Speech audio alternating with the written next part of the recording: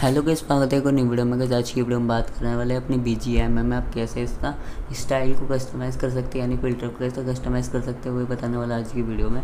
तो फिर सबसे पहले आपको अपना गेम ओपन करना है एरो वाले ऑप्शन पर क्लिक करना है, फिर सेटिंग वाले ऑप्शन पर आपको क्लिक करना है। जैसे आप इस पर क्लिक कर देंगे, यहाँ पर वो ग्राफिक का ऑप्शन मिल जाएगा पिकअप के नीचे। जैसे आप इस ऑप्शन पर क्लिक कर कि यहाँ आपको मिल जाएँगे style classic colourful realistic soft और मूवी आपको कौन सा अच्छा लगे आपको सिलेक्ट करना है।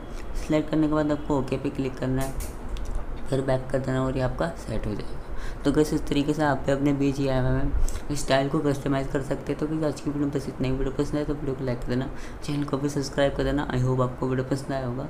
Thanks for watching